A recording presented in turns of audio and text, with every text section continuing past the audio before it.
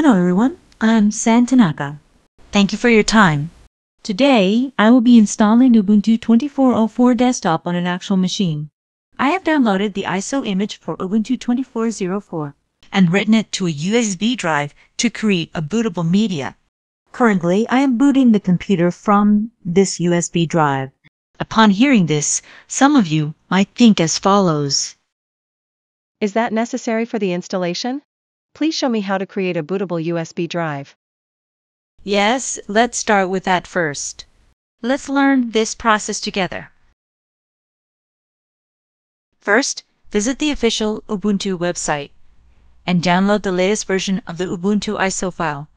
The ISO image of Ubuntu is about 6 GB, so prepare a USB drive with a capacity of more than 6 GB. It is recommended to use a USB drive with at least 8 GB.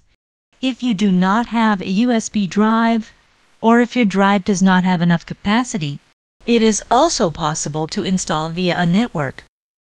Next, use a free tool called Rufus to write the downloaded ISO file to a USB drive. This handy tool transforms the USB drive into a bootable media, allowing the computer to boot directly from this USB. Make sure to select the ISO file you downloaded earlier as the boot portion.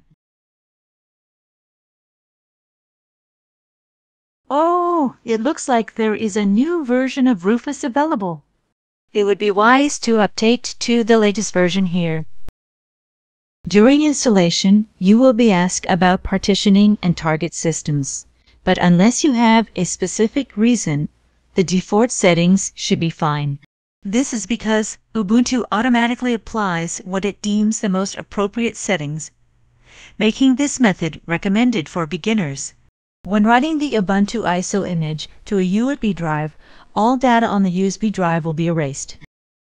If you have important files saved on the USB, please back them up beforehand or use another USB drive. Incidentally, since I did not have a large capacity USB drive, I wrote the ISO image to an empty DVD to boot.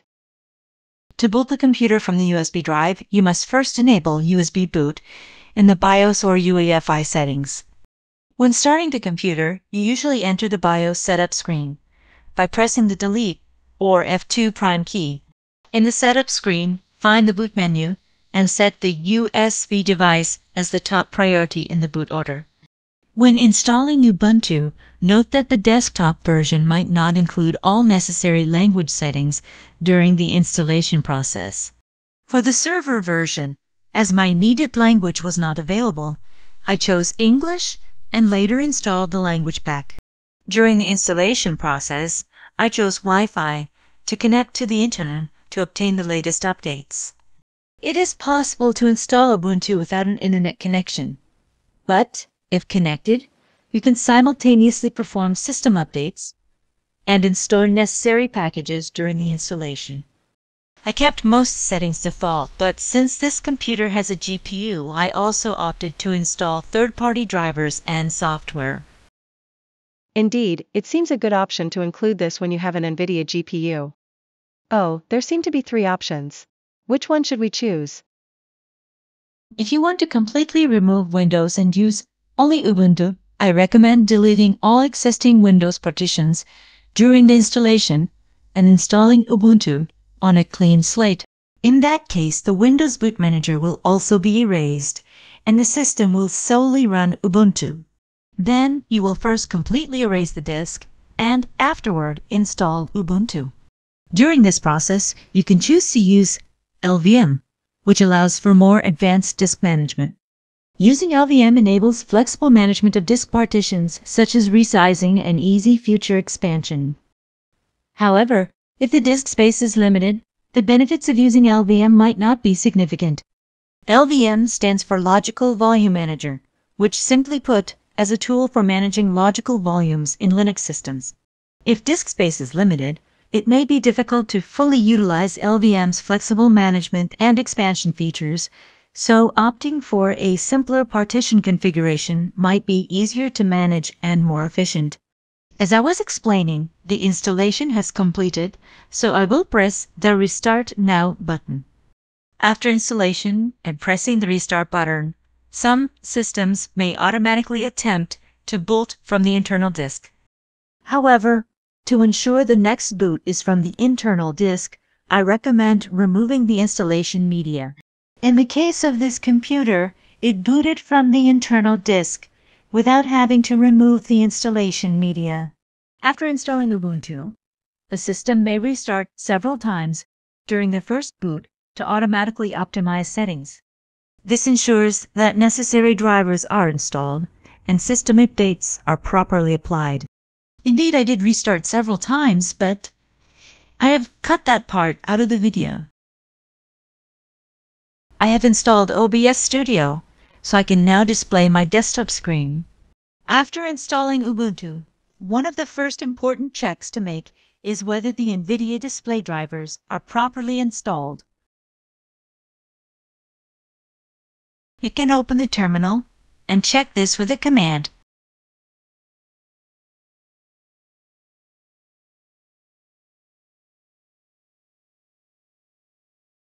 According to the command, it shows CUDA 12.2.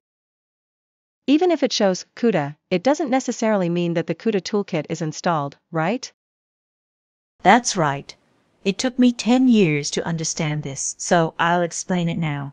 When you enter the command to check if the CUDA toolkit is actually installed, it will display the command needed for installation if necessary.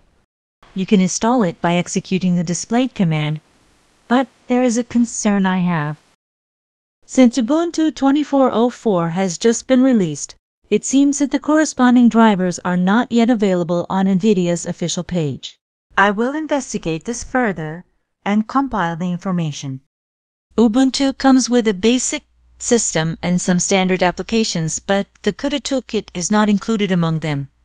The CUDA Toolkit is an advanced development tool necessary for specific purposes, such as GPU-based programming and deep learning, and must be installed separately as needed. Upon hearing this, some might think like this.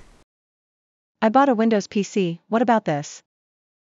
Except in special cases, the majority of standard consumer PCs do not come with the CUDA toolkit pre-installed. Also, the CUDA version displayed by the NVIDIA SMI command indicates the version of CUDA that the NVIDIA driver supports, but this does not necessarily mean that the CUDA toolkit is installed. We need to be cautious with the version display by the CUDA commands. This is especially important when multiple versions of CUDA are installed. The displayed version only represents the maximum version of CUDA that the driver supports. Since it is not yet installed on Ubuntu, I will actually check it on Windows. The CUDA version, shown in the command prompt, represents the version supported by the NVIDIA driver which in this case supports up to 12.4. However, if the folder shown in the video exists and contains files, the actual installed version of the CUDA toolkit is 11.8. This means that an older version remains installed and has not been upgraded. This was an oversight, quite educational. In Ubuntu, the CUDA version shown by NVIDIA SMI represents the latest version supported by the NVIDIA driver. However, the version of CUDA Toolkit included in the Ubuntu repository is not necessarily the latest. I will briefly summarize the difference between CUDA and CUDA Toolkit.